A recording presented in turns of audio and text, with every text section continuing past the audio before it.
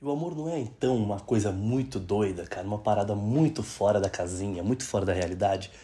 Porque o amor, por mais racional que você seja, ele vai ser totalmente controlado por suas emoções. Ele vai guiar o seu instinto, o seu impulso, o seu desejo, a sua vontade. Ele vai te levar para um outro mundo, para um outro lugar, o lado de lá, o mundo de lá, aonde você se torna uma outra pessoa através da pessoa que você ama, através da pessoa com quem você convive.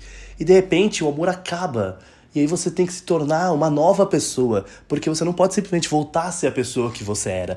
Você se torna um novo alguém, mas agora no seu mundo de cá, mais uma vez. Então você tem um retorno, mas ao mesmo tempo você tem uma mudança, uma metamorfose.